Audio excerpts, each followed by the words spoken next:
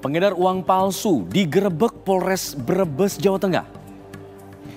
Seorang pelaku, Imam Santoso, digerebek di rumahnya di kampung Saditan. Kasus ini terungkap setelah uang palsu digunakan untuk membeli motor senilai 9 juta rupiah. Dalam penggeledahan, polisi menemukan ratusan lembar uang palsu pecahan 100 ribu rupiah yang belum digunakan. Sementara dalam pengembangan polisi, polisi pun menangkap seorang pelaku lainnya bernama Edi Priyono. Edi ditangkap saat berdagang di pasar malam.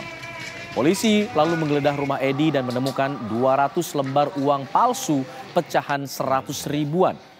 Kepada polisi, keduanya mengaku mendapatkan uang palsu tersebut dari seseorang di Pekalongan. Uang palsu senilai 50 juta rupiah dibeli dengan harga 15 juta rupiah.